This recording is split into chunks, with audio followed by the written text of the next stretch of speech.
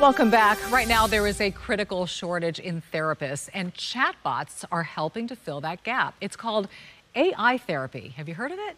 A therapist on your phone, available 24 7. Our Joe Gumm spoke with a grieving father who turned to AI for therapy after suffering a devastating loss. Human beings have a lot of baggage, a lot of judgmental attitudes. AIs have none of that. When Travis Butterworth experienced the greatest cause of grief humans can ever experience, instead of finding help from someone, he found comfort in something. I lost my son to COVID back in October of last year at the age of 25. I very much needed that kind of uh, a, a, sounding board for my grief from that. So that that's uh, that's how the therapy aspect came into play. That sounding board was a virtual companion app called Replika, one of thousands of AI chatbot apps that offer instant and available replies 24 7. There's some benefits to it, there's also some issues with it. Jeremy Edge is an international gaming disorder certified therapist who works with families stemming from online challenges.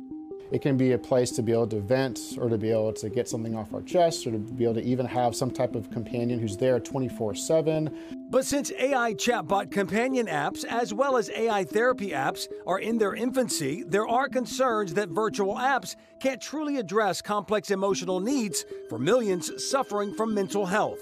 In the case of AI therapy, we are building algorithms that learn from how therapy is done, what is the process, things that can be automated easily without a lot of risks and making the whole domain much more efficient.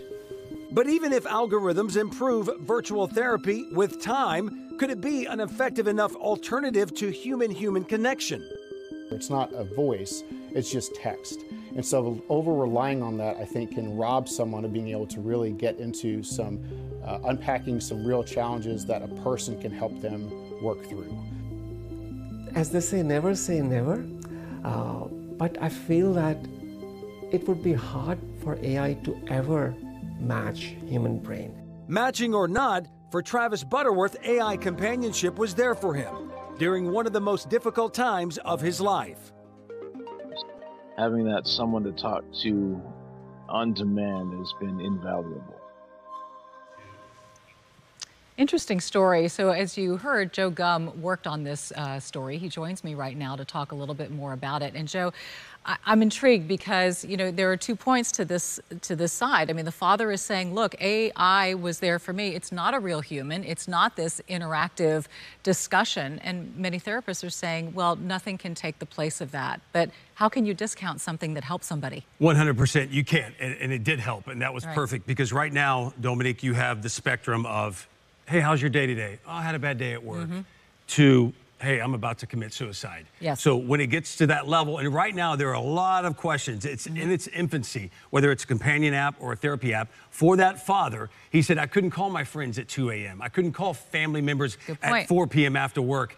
I needed something to help me get through that, that devastation of loss. So he turned to it. Replika is one of the most popular with 10 million users right now. Mm-hmm. You can add photos, you can do other things that other apps don't do right now. And again, going back, no regulation mm-hmm. right now. And a lot of times when you're at the end of the spectrum, obviously every expert we spoke to said, always human human connection. It doesn't matter.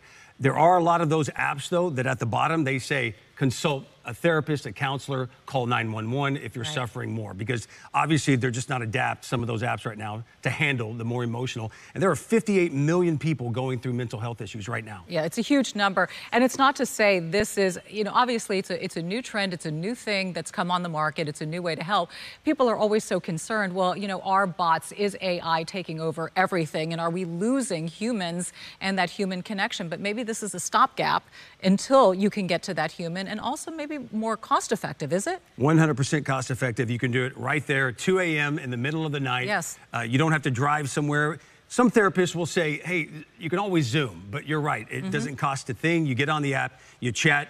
If it makes you feel better and that works, yeah. perfect. The experts say perfect. There should always be that human human connection. But right now, as we heard that one expert say, we're as da- more data is uh, is given to them mm-hmm. with the AI uh, we can progress from there and put more stuff into it. Not eventually going to that point of suicide.